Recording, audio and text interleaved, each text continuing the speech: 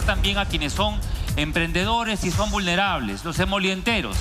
Un emolientero en una esquina puede ser también víctima de la delincuencia y la extorsión. Claro que sí, lo hemos visto. Lo hemos visto, de Pero, hecho. pero miren ahora lo que eh, pues el municipio y ellos mismos han acordado. Colocar en sus kiosquitos, en sus puestos de venta, cámaras de vigilancia que puedan también registrar un asalto, un robo a mano armada, ¿no? O un atraco. Veamos la imagen.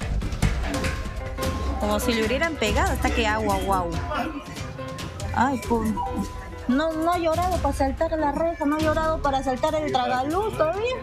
Y, sal- y llora porque está parado. Así, este delincuente que intentó robarse la cámara de seguridad de una vivienda y fue atrapado por los vecinos en su huida, lloraba por su inocencia ante la policía de los olivos. Ahí sí lloran, carambas. Los vecinos frustraron su plan y lo detuvieron. Pese a la fragancia, el delincuente, que según cuentan es reincidente en la zona, se atrevió a minimizar el hecho. En la esquina le han robado cámaras. ¿Cómo va a haber cables viejos en una casa? Hechos delictivos como este ocurren todos los días en el distrito. En lo que va del año, solo el personal de Serenazgo de los Olivos ha logrado la captura de 401 delincuentes que en su mayoría se dedican al arrebato y cogoteo en las principales calles de este distrito. Por ello, están acoplando aliados a su estrategia de seguridad. Aliados como Edrugo Ramos, el molientero cuyo carrito es hoy un puesto de vigilancia. Acá tenemos la primera cámara lista para los públicos. Edrugo, quien tiene ocho años vendiendo desayunos en la avenida Próceres, ha sido testigo de decenas de robos en esta zona. Por ello ha decidido convertir su carrito de desayunos en un puesto de vigilancia en servicio al distrito. Claro, yo me sumé a esto cuando había muchos robos y ya tenía esta, o sea, este proyecto ya con mi presidente, con la asociación Emoli Siempre, tenía el proyecto ya planteado, ¿no? Lo que nos faltaba solamente es el convenio con la municipalidad, pero ahora ya lo tenemos. Los señores emolienteros han conectado sus, puesto sus cámaras en sus puestos de venta y eso ya lo conectamos a nuestra central de videovigilancia.